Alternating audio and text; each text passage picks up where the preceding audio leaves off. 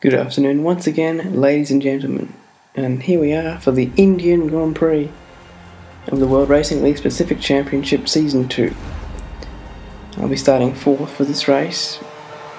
We've got the two Marussias in front of me and Stylen. Not a particularly good qualifying at all from me.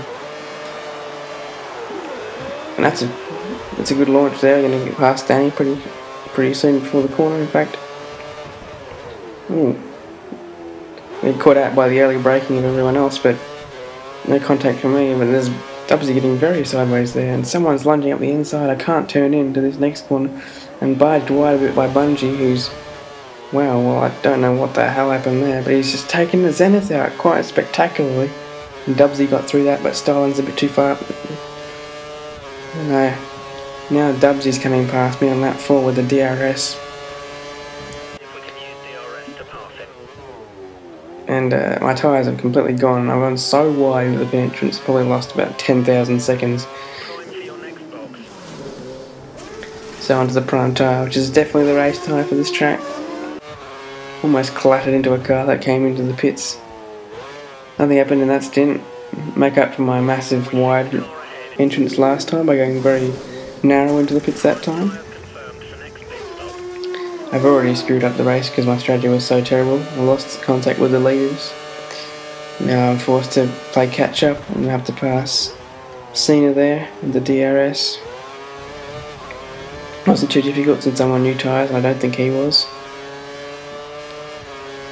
Basically a race for third place after the first two stints because uh, Stylen and Dubsy just well, has made a good strategy goal, and I, I certainly didn't didn't it at such the wrong times, and they just got away massively. I did, however, emerge in front of Stylen at one point.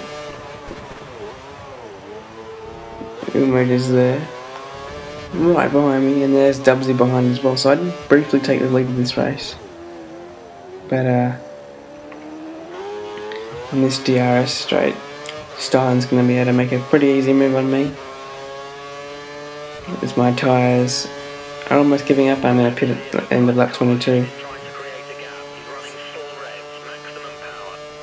I tried to get some slipstream, but it was of no avail since his rear wing had popped open and mine was firmly shut, as DRS rules stipulate.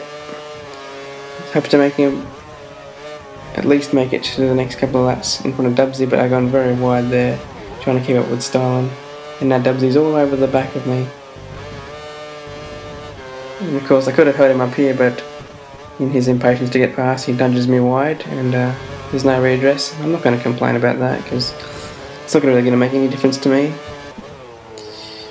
And uh, I end up deciding to pit on of lap 21 instead of 22 because the tyres are just so shockingly bad.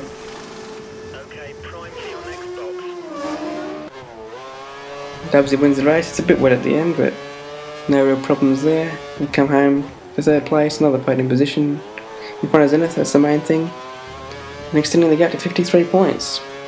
So it's now possible to win the championship in the next round. That's a great third place. Congratulations. 15 points. And that'll be my aim. So I'll see you next time, guys, in Abu Dhabi, where I look to spin the car backwards and cross the line in reverse to win the championship. See ya.